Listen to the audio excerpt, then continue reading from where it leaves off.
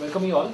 Um, just so that you know, what we're going to talk today is, is basically going to be on uh, technology innovation in legal industry. So before I uh, we get started, I just want to uh, introduce our company in a nutshell, and then myself and my colleague Anuj uh. Um, so, Zoom is a um immigration software company, you know, in a nutshell. So what we do is uh, we build software for the immigration law firms and also for the enterprises who deal with a lot of mobility needs for their, you know, uh, multinationals, for their global workforce. That's what we do. And um, we are one of the biggest players in the market. We pretty much are the leaders in the market uh, for this space. Um, we started out in uh, 1998, 99, and then uh, it's, you know since then we've grown and we'll talk a little bit more about it. So we pretty much are the pioneers in that space. We, we created that marketplace, to be honest, uh, the whole cloud-based software for the immigration tech space, you know, back that time. And uh, uh, about myself, uh, I'm Vishwas Mudagal and uh, I'm the Vice President for Products and Marketing. So I head the, the products division, uh, look after the, you know, the new products that needs to be launched in the legal and in the immigration sector, right? And I've been an entrepreneur and I've been into startups uh, for the last 10 years in and out. And I basically joined the company uh, and Zoom because it's very exciting uh, coming up with new products for the immigration and legal industry. So that's when I joined a couple of months back. Uh, Anuj, if you can introduce yourself. Anuj, Anuj Sareen. Uh, I've been in this industry for about 13 years now. Uh, mainly in the areas of immigration and uh, compliance. So I joined INSZoom about uh, just under three years ago, and before that I was with Wipro and uh, Infosys, heading the immigration. That you know the workforce is completely globally mobile, and both the organizations are compliant to the laws of the land in which they operate. All right, great. So I think uh, we'll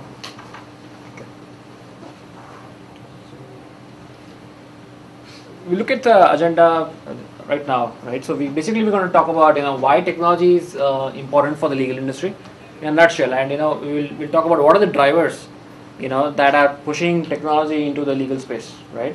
Then we look at you know a few of the latest trends and innovations that we are seeing uh, right now in the the legal uh, sector, and what is the what is upcoming, right, in the whole market uh, space. And of course, uh, uh, you know, we're going to talk about what what INS did to revolutionize our space, right? If you look at legal industry, although we might think that it's a very niche industry, but there's a lot of specialities there. You know, immigration, and then you got criminal, and you, have got uh, um, litigation, litigation, and you know, a lot of other things. So because this, I just wanted to be like a, an open forum. So if there's any questions, uh, if you want to contribute anything, uh, please you can jump in and talk and Anuj will be Anuj is an expert in, in the field. Uh, so he'll be jumping in uh, anytime he wants to contribute something. We just want it to be like an open session, right? Okay. So when you look at it, uh, uh what is uh, you know what really happened in legal industry, right? If you look, really look at legal industry and technology in legal industry, you always think that okay, you know it's been so such a slow adopter of technology, right? You know lawyers typically the way they deal with is a lot of paperwork. Uh, you know they're, they're, they're like always you know kind of nerdy and really look at it and they're afraid of technology right? Pretty much if you look at you know just go to some you know a court in bangalore or talk to a lawyer in bangalore you get to know they're like pretty much clueless even today coming to technology. But i think really what's happened in north american market is a little bit encouraging and then uh, the last five years, I think a lot of uh, things have changed for the legal industry. So just to give you an example of what it is, um, here are some of the statistics that you know ABA, the American Bar Association, has done the survey last year, and this is what they got, right? So if you look at the lawyers, you know, in 2008 they were like 15% of the you know total you know um, lawyer population. Look at it, they were on the social network now look at a remarkable jump at 78%. And one of the reasons for it is also an adoption of smartphones, you have smartphones, you know, getting into all, you know, uh, the whole legal space. You know, if you really look at it, the lawyers, the paralegals, um, uh, the companies embracing it. So that has pushed people to, you know, pretty much adopt a lot of these technologies.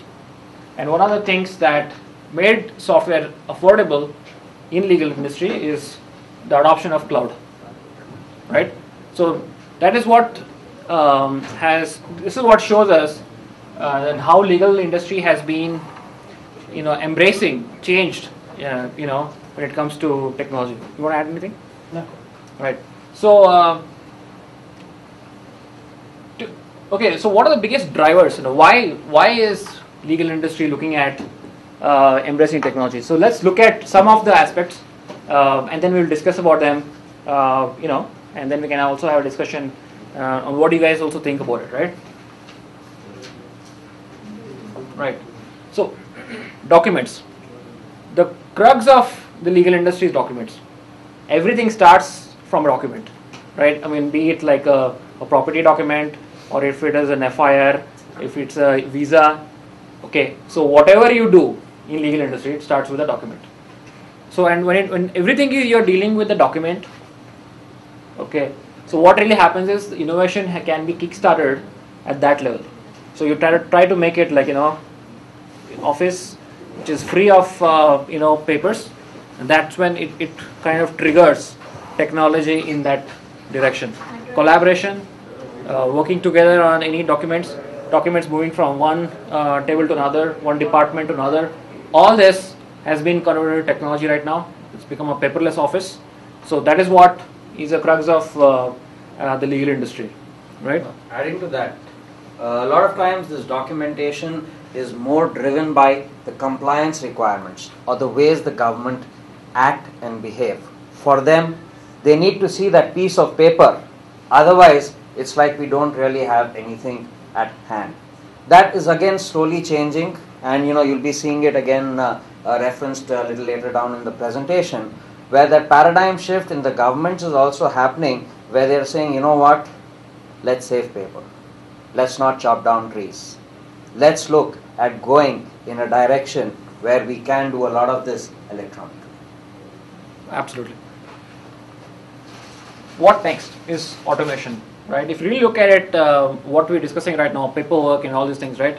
They're all mundane things, and they're all, you know, regulations and compliance, which you know somebody has set those rules, and then you practically want everybody to follow them, right? So all this can can be automated, right? And that saves a lot of time. That is, and then make it make ourselves very productive and then if it is a bunch of paperwork that we need to do we need to be very reliable we need to be uh, able to produce the same um, kind of results because it's just the same paperwork so we want to make it more reliable and also uh, uh, Scalable. sorry Scalable. scalable reliability and scalable scalable thing and repeatability is something which Anuj had already also told me that in um, automation is, is, is very important there right so automation is something that is driving lawyers to adopt technology right that's what it, it's all about compliance you want to talk about compliance Compliance. Again, something which is not really in our control or in our hand. It gets dictated by different government agencies. And not just by different government agencies. You put a new person on the chair over there, the person comes up with his or her own interpretation of the law. The way law is worded today, worldwide, there is always room for that ambiguity in it. So, this is a very dynamic environment. It may have nothing to do with something happening in the parliaments of some other countries, but boils down even to the point where a person sitting on that chair changes and his interpretation changes. It also boils down to the economic scenario. We have seen what past practices, what policies, what procedures have been followed by the government agency for decades.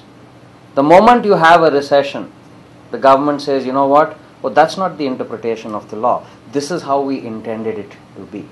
And that's a lot of protectionism that you see happening currently today, also given the economic scenario that the world is facing. So, again, this is ruled by somebody else, government, people in chair, and it changes at the snap of a finger. Nowhere in the world you will see that laws don't change on a daily basis. And for the legal industry, keeping track of that change, keeping sure that, you know, and more for, so for products or for attorneys, more so for them, ensuring that, you know, they are translating that appropriately to the cases or to the transactions that they are dealing with. Absolutely, I think technology, uh, when it comes to compliance, as you said, is a very scary word for lawyers everywhere in any uh, sector you look at in, in legal, and that's why technology is kind, kind of coming to the aid, as Anuj has uh, just told. And uh, what are the next biggest driver is uh, mobile, right? So what uh, today we have seen, you saw, you know, BYOD. If you look at that, bring your own device, or it could be accessing it anywhere. So legal sector has really become very different right now. So lawyers are pretty much going everywhere. If say for example they go to a for example jail, they would take a tablet and go and then they're not making notes in their you know on the paper and they're coming back and feeding it in the system. They would just take a tablet and then probably they'll just record it which just converts into a text and feeds into your database or you just enter it right there. Sorry, right? Is, is, is a tablet still around inside jail or something like that? Yeah. You can, you can take, take text till some point, after which there's some, you can take notes from it. Yeah, yeah, exactly. So the whole point, what I'm trying to make, uh, you want to answer that question? Sure. Uh, I'm not going to say you're right, I'm not going to say you're wrong. Okay, and the reason why I say that is it depends upon the country that you are in. Yes, if you look at the Indian system, probably, you know, they take away all electronic devices from you before they allow you to meet your client. But you go to the Western world today, okay, there are a lot of countries which allow certain kinds of electronic devices to be taken inside when you're meeting with your client over there. So, you're right, but again, it depends upon which country you are. Yeah, state, state, for example, in state in the US, every state may have Absolutely, absolutely, absolutely. Again, this is just a, an example I'm trying to give you. But uh, even today, I mean, um, even a paralegal or even a lawyer, when you, when you go and you talk to him right now, he's not going to, uh, typically in US, they're not going to write stuff. They just enter it in your system. Either it's going to be a case management system or, you know, they, they're going to have uh, an application uh, on your tablet which pretty much feeds into your uh, thing. So the things are very advanced at this point in time. So that innovation there is being uh, pushed by the mobile devices, right? So uh, that has is making lawyers to adopt those technologies. Just uh, for people who have just walked in, we are talking about what is driving technology in legal sector and why lawyers are, you know, and then uh, firms across the world are investing in technology in legal sector. These are some of the drivers that we are talking about right now. Again, this is the biggest factor, one of the biggest factor I must say at this point in time because the business has become global right now and also the workforce has become global. There are two different things right now. So there is a firm sitting in uh, in uh, US at this point in time, and they have a client in India, right? What the way business used to be done previously was, you know, you go to a lawyer and you pretty much pay them per hour, and you you get things done. It was very very local, but now things have become very global. And then why is technology important there? Because you need an interface with your customers, so you need to have like a website and then you need to have like a case tracking system where you can, you can collect their documents and also if you really look at it you need to have a way to um, collaborate with your client answer the you know, questions everything is being done by technology right now and the most important thing is money so you want to be able to take money wherever you are so e-billing and you know all those uh, the billing systems that lawyers are now adopting right so that is something which is uh, more important from a global uh, workforce perspective um, again, uh, you want to take that global workforce? Sure. Uh, now, let's take a look at global workforce. What we all probably know is the software engineer, you know, out of college, waiting to get his H1 or uh, you know a work permit to some other country and travel over there. Why? Why has that change happened? That change has happened because the economy today is not going to be driven by manufacturing growth of economies today are going to be coming from the services industry, from the service sector. Now, how do you service your clients or how do you help your clients in the service sector if you cannot be mobile.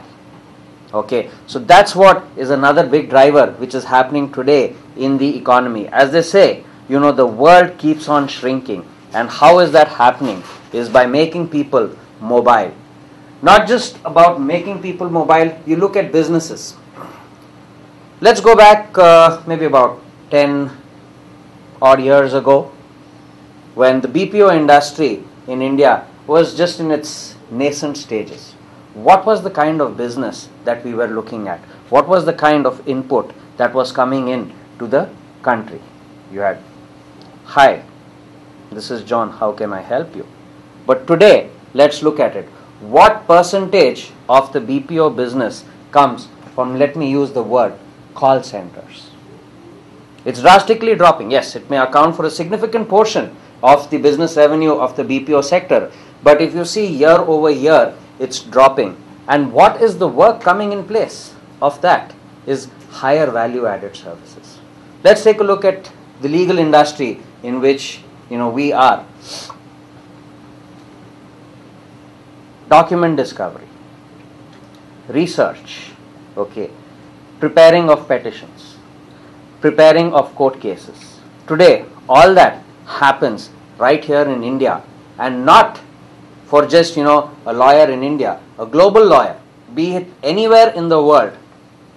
The capabilities are coming. That's what services are about. That's what businesses are about. That's what businesses today are looking at seeing how they can create a 24 by 7 work environment at practically or at really low cost to ensure higher productivity for themselves and better service to their clients.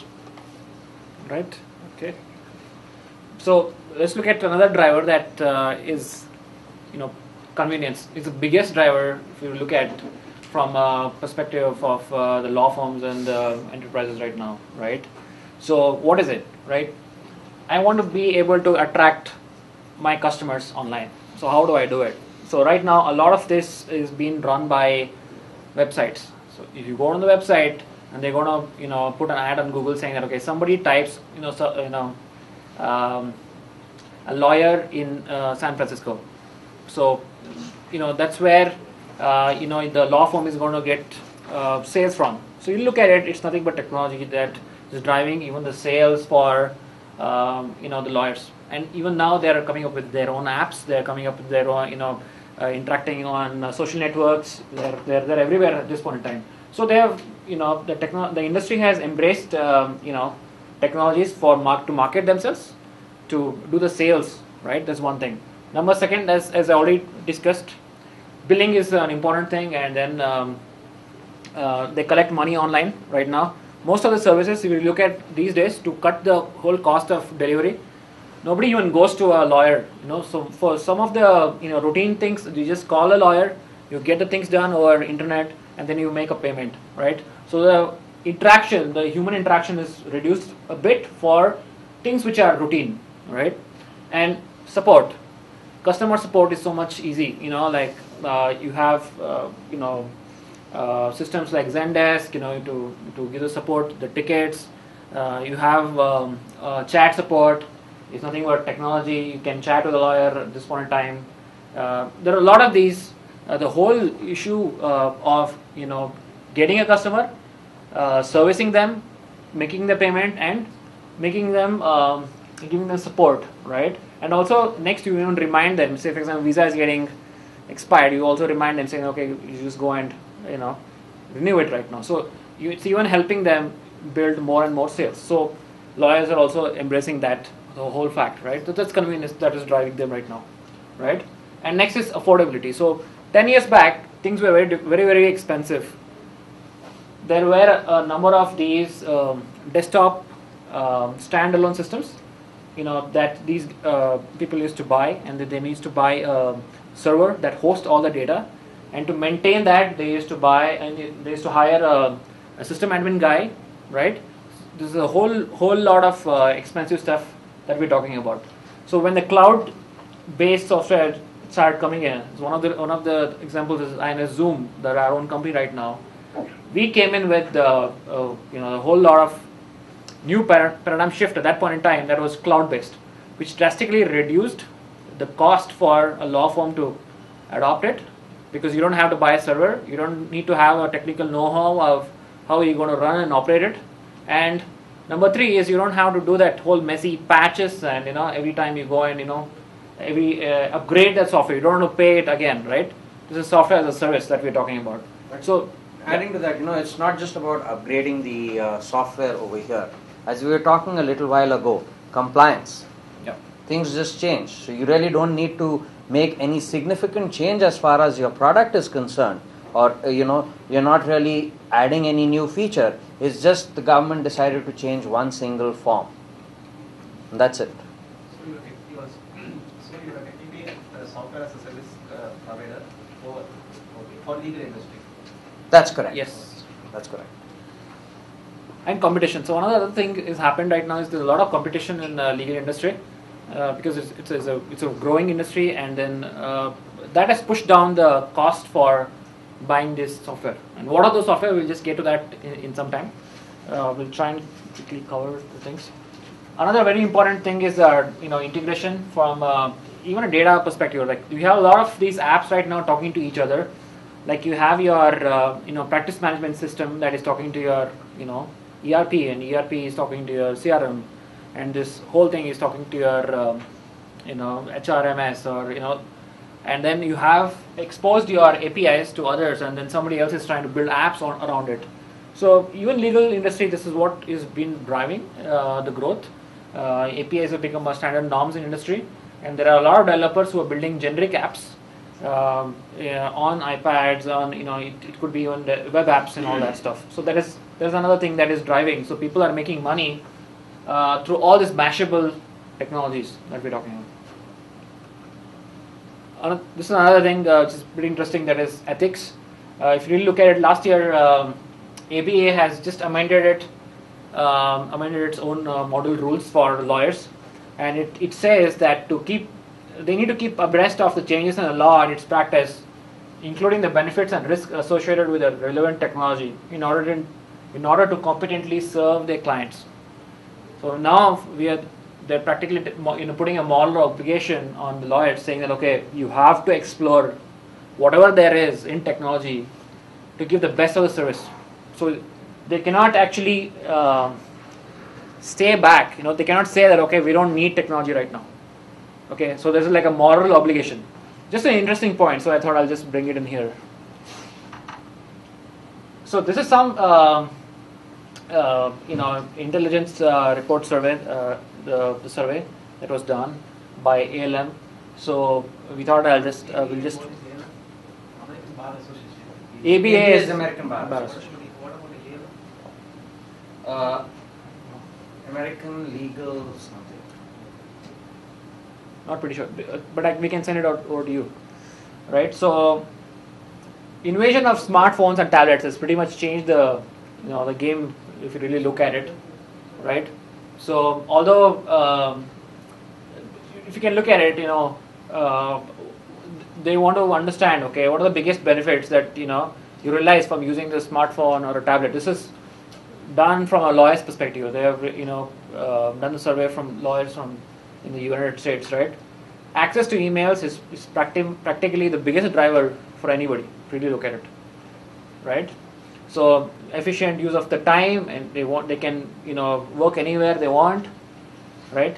And they have improved collaboration with the colleagues, which is very important because um, a law firm is you know just like how we work in like software teams. You know they have their own teams there. Uh, look at it, and um, ability to uh, solve the problems. So variety of reasons out there, and uh, everybody uses a smartphone. Really look at it. All the tablets are just picking up, but smartphone is something which it's really picking up there. This is some other uh, uh, report uh, from the same one, which talks about the productivity uh, uh, of the. How are they getting productive? You know what exactly they're trying to use. All right. I'll just keep this one just to try and uh, this one. So let's get on to um the hottest trends that are there right now at this point in time. Uh, we just go through what is actually happening in the industry right now, right? E-discovery. So has anybody heard of e-discovery here? One more fact is all, all criminals are on Facebook. That's a good one. So, so no need of doing anything. Phone searching Facebook and you can find them. And they post it also. That's the Indian part. This is what happens, right? People uh, they even get drunk and they go and post it on Facebook saying that you know I drove back home drunk, Yeah. and they get arrested. That's another uh, advantage these days that you know everything is being monitored. You know, even all the police agencies and uh, even in the I- I in think US. Have some uh, in Facebook also. Yeah. That's what I heard. Yeah. Another funny instance is uh, this guy went to you know, rob a house and kind of saw the computer switched on and Facebook over there. Yeah. Happily till the cops came and took him away. And he didn't manage to log out also. That's what I heard. And even if you uh, look at uh, the Bangalore traffic police, they're on Facebook, and if you if you go and you complain on Facebook, they're closing the tickets. I mean, they're really monitoring it and closing it. That's something we should look at. That's really commendable. No, we don't know, uh, their Facebook uh, are not, but, uh, they are not active on their side. Because uh, already I logged some complaints. You but- did? Yeah, but, but they did not reply. Oh, okay. Because some of my friends are you know did that and then they took care of it The immediately. Investigation is still going on. Uh, Not on the site. Even- He's talking about the. Facebook. I'm talking about Facebook. You might have logged in on the website, right? No, do do it on Uh, Facebook. What I'm saying is they are not active on their site, but maybe they are active on the Facebook. Yeah, they're active on Facebook. No, but uh, I mean, it's changing in India uh, too. If you see, uh, how many of you have been caught for a traffic offense in the last one, two years? Quite a few of you. How many of you have seen the guy take out his Blackberry? Yeah. And you know what he does with that?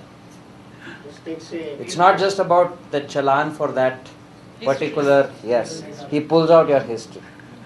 He pulls out your history and he can tell you then and there, you know what? There are five more tickets which you've not paid for. What do you want to do? But yeah, they are getting more and more uh, uh, savvy. Okay, it's still got a long way to go, but yes, uh, this industry, or let me call it legal and law enforcement, which typically, at least in India, uh, and you know even to a great extent uh, uh, abroad, has been a laggard in terms of adopting technology. Today, you're seeing that paradigm shift happen, wherein they are relying more and more on technology to you know help them and aid their work as against what it was earlier. even if you look at ROC, right, uh, Registrar of Companies in India, it's, com- it's completely automated right now. Uh, everything and everything is done online, so you don't have to go go in person and you know file your you know your company documents right now. So everything is online, and But the timeline still remains the same. it, it's a little messy, but it, you know, but at least you have to go to a CA. you have to go to a CA for a few of the things because they need to certify some of the things. But look at the convenience; it's, still much better, right? And they're trying to cut a lot of these things. Say, for example, you want to change your office address from one place to another. Before it was like a little bit of a nightmare, but now it's just a matter of uploading these certificates online, and then you get the confirmation, right? So and it's 24 bar 7, so that means work can also go on during you know Sundays. So that's something which is amazing even in India if you really look at it. So coming back to uh, uh, a few of the hottest things that are going on right now in legal, uh, e-discovery is one of the.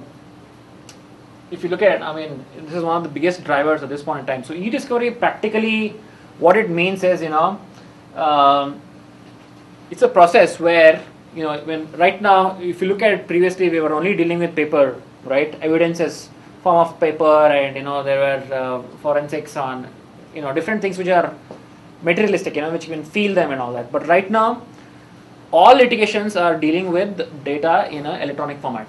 So that means, when, when if, for example, two firms are clashing, you know, for some litigation on a particular thing, and then uh, say if it can be, can be corporate espionage or whatever it is, right? So then, uh, for that litigation, then the, both the firms have to exchange information through which they will determine, okay, whether what is wrong or right. And then what happens is emails and certain documents provide some certain information that normal documents cannot give. They give precision information of from where it originated, from which IP, what is the timestamp, a lot of metadata that you know normal documents cannot give. and this is exactly why you know e-discovery is becoming such a uh, you know uh, big important thing, especially in the United States market and also Europe. Um, what it, it practically means is that you know you in the pre-litigation you you kind of exchange data between uh, each other the two counsels and they put it in something called a legal hold where you know you cannot destroy the data right?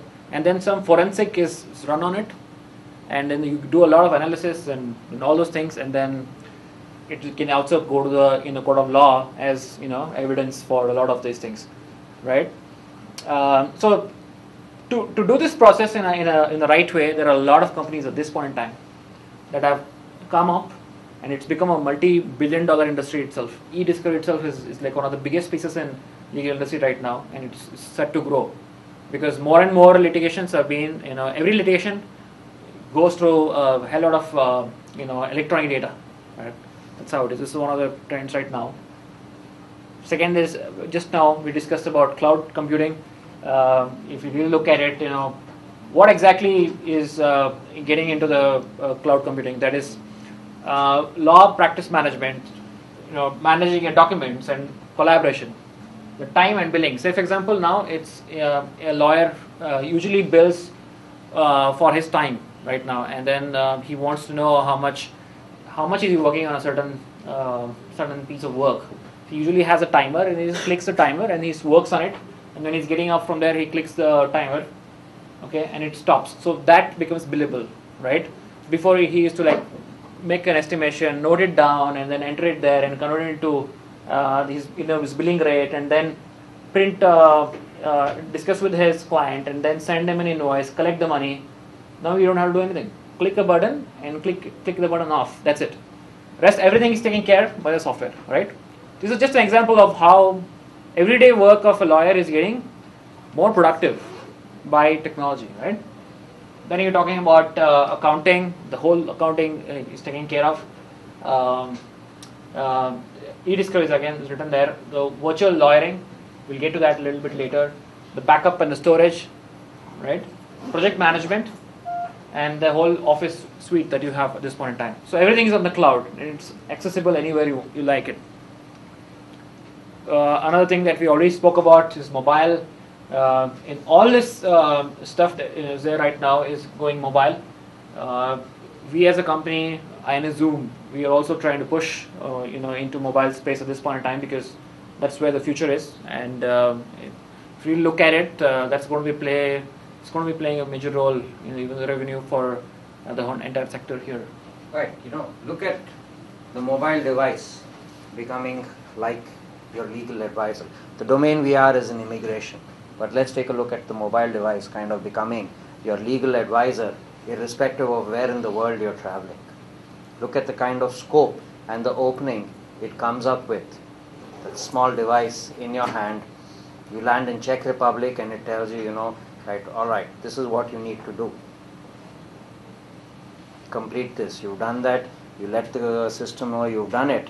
It says, okay, fine. You know what? You're good to stay for the next 30 days or 90 days, or you need to go ahead with another portion of the process. So that's the kind of stuff the mobile devices are opening up to, based upon you know location services that you can activate on it. absolutely so and there is no end to what mobile So no apps, end to no end to what you could look at.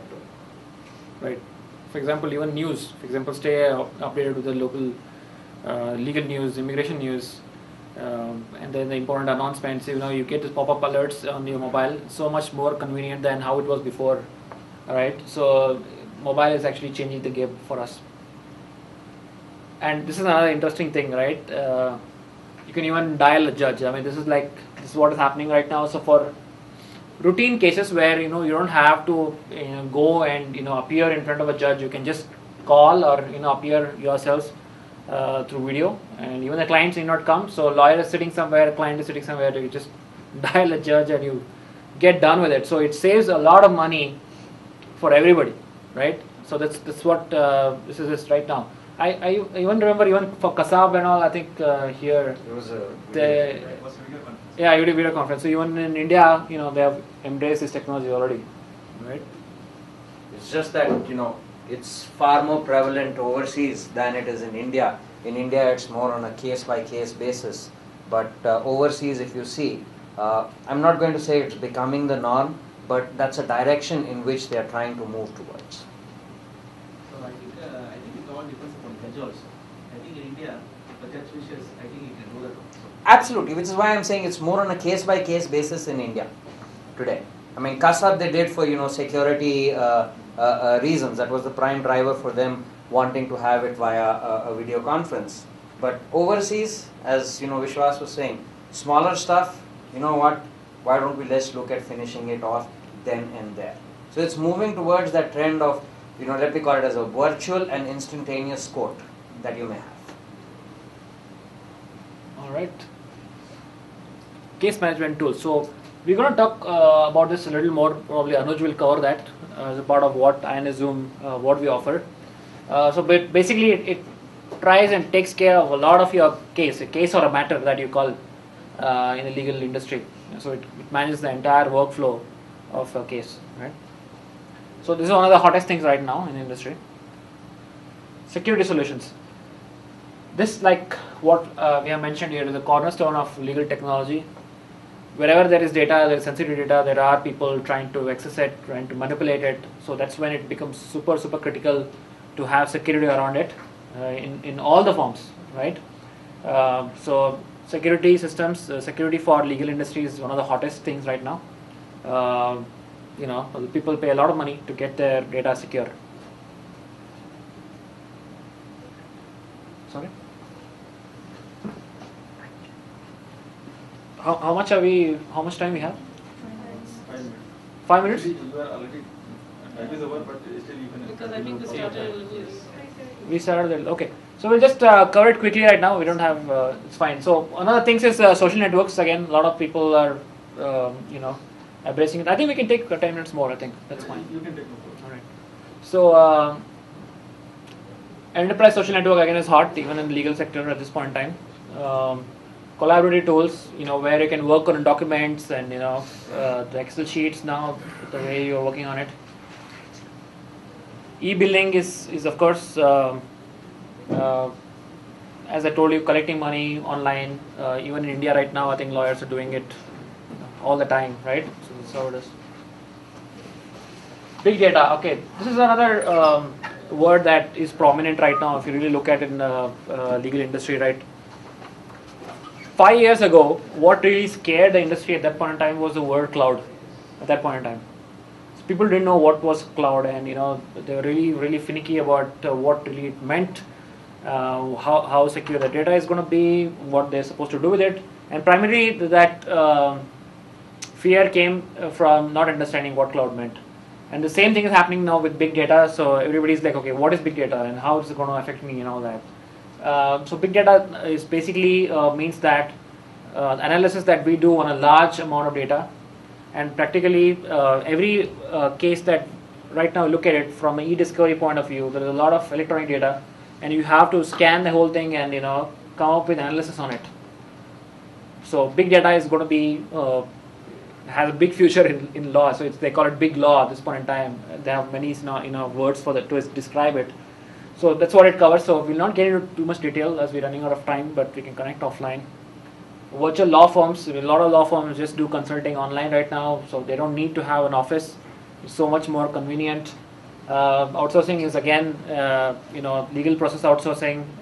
Companies are sitting in US, but the work is getting done in India alternate delivery models. Uh, you know, a very classic example for this is uh, um, LegalZoom and the, you know, a couple of other websites even in India as well, where you don't have to go to a lawyer to get uh, you know to do to the basic work like you know filling up a, a company incorporation sheet or you know it could be uh, filing for a patent. You know, the, some of the few things uh, you can just do it online yourself. You can just um, do the you know registration, trademark, and all that. Do it yourself.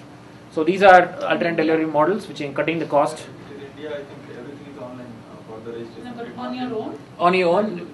Some of the Don't things you need a can. patent agent to register it? Not- You- not- I don't I think. think trademark we can do. Directly you can go on the site and the form is there, you can fill it. Yeah,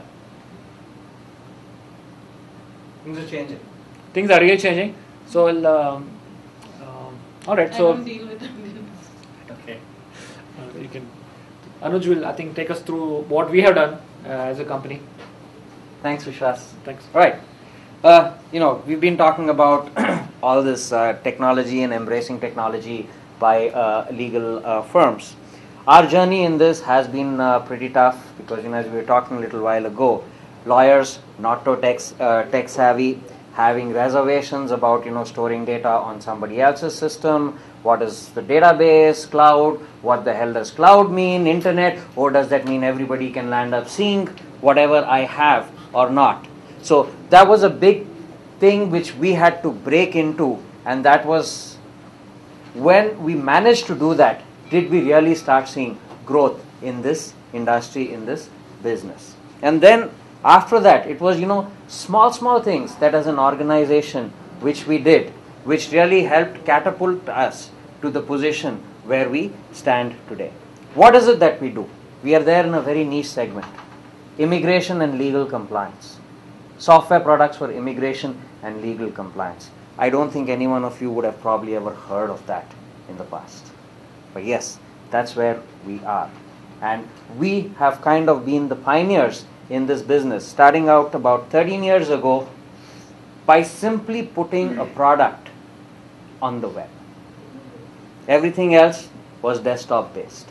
Our USP was, you know what, we're on the web. And we hit these barriers we managed to overcome these barriers and over the years have tried to help and work along with our clients by doing very small small stuff. If you see you take a look at this very small small things. But yes each of these small things each of these changes that we did okay resulted in significant productivity improvement for our clients resulted in significant increase in revenue for us as an organization resulted in us being able to take out our competitors from this business space. We're self funded, but we took on people who had venture capital funding also. Starting from that point, and how we did it was just small, small stuff, innovating. You know, look at it credit card processing. Today, we guys look at it as standard. Go to any website, he's going to ask you for your uh, credit card number, and you're done with. We came up with that in 2004, almost 10 years ago. And man, the reaction from the customers, from our lawyers, was wow, are you saying that I can collect money online? And our answer was a simple yes. Innovation need not necessarily be very big. Small, small stuff can go towards making things a lot easier for everybody. Corporates came into the picture, immigration. How, how many of you have got an H1 or an L1 uh, visa or work permit to some other country? Have any one of you applied, got? What was the experience? Was the transparency? Did you have information available to you? It was painful, It was painful. Was it a big black box? totally. Totally. And that's the space which we address. And this is a simple integration workflow which we built for one of our clients. I'm not obviously going to name uh, the client at this point of time. However, it was a very simple integration and the kind of barriers we had to break. Corporate concerns on data privacy, on data security. Okay. She can talk about uh, that a lot more. I, I can essentially file for two different people sitting somewhere else in the world because the law firm that was working on my paperwork sent me their details. So I have somebody else's offer letter and bank details and everything. So, And What now we I fear somebody else in the world might have mine. See? And those were things which we had to Can I sue overcome. them? Oh yeah, if they sell your data, you definitely can. No, but can I sue them for getting wrong information? You can sue anybody. Technically, you can sue anybody for anything, for that matter. Mm-hmm. So that you know. Well, you know, what did we do? All we did was we had the lawyer system, we had the client systems, and we had our system, INSZoom. We built a three-way integration between all these three, encrypted it, okay, and made it depending upon what the information is, real time or a batch job. okay, every two minutes to uh, 12 hours, certain jobs used to run to share information between all these three systems in a very secure manner. That's all we did for them. And today, their, their employees are really satisfied. They don't seem to have an experience like uh, uh, she had because with that integration, the moment you enter data, it's back available on the intranet of the organization. So we integrated between the intranet, the lawyer system, and the INSZoom system, all three together to share real time information. Next. How many of you can guess what these numbers are? Have any one of you read these numbers in the recent past? The number of Indians going to US. Uh, It it will will close. uh, visa. Absolutely. These are the top H1B filers in uh, for the year 2012. Okay. Uh, again, uh, more than half of these are uh, our customers. How is it that they have been able to do this? Take a look at this list. How many Indian companies do you see here, and how many foreign companies do you see? Eight, eight are Indian. right? Okay. That's the embracing of technology. And why we probably been significantly ahead of the others is because the sector or the, the if I look at technology, we are more in the service sector. Okay, where we have this need for sending resources overseas. Okay, how have they been able to do this? We spoke about a little while ago repeatability, scalability, etc. etc. You look at this, let's say Cognizant, 9,281 H1B applications for the fiscal year. How do you think they would have managed it? And trust me, uh, it's not an easy job doing an H1B for any person. The amount of back and forth which can happen on that, the amount of information which you'll need to be processed and put into that application can be humongous. We remember Obama saying that you know the first presidential speech, we won't allow a lot of people to come to the US. We want all the jobs to be uh, sourced locally. True, true. But That's how come still they are able to send 9,000 people? they've not sent. They've got. Uh, they've applied for uh, or they filed 9,000 uh, H1B applications. Okay, but yes, ultimately, I guess all of them would definitely travel. But look at it. It's a question of demand supply. Yes, you want to create local uh, job opportunities. You're going to take actions towards creating those job opportunities. But again, how many job opportunities are you creating on one side? How many people are there in your country to be able to take on that job responsibility? That gap still is very high. Right? So as long as that gap exists, People are waiting. Okay. As long as that gap exists, okay, you are going to have H1Bs, And the economic uh, viability. economic viability. Multiple, multiple fac- uh, factors which would go into the picture. But how these guys have been able to do this and scale up their operations is simply by embracing technology, simply by going in for automation of that whole process, making it scalable and repeatable. And we could talk a lot more, but I guess uh, uh, you know we have the people for the next session waiting, so we're going to be outside in case you guys want to uh, uh, you know have a chat. Thank you so Great. much. Uh, Thanks, everyone. It was really good. Thank you so much. We are available at uh, you know inszoom.com. Uh, please get in touch with us. Uh, we are also hiring a lot of people for products, uh, for marketing, sales, um, and uh, software. And we have we have got a bunch of very talented engineers and product managers here.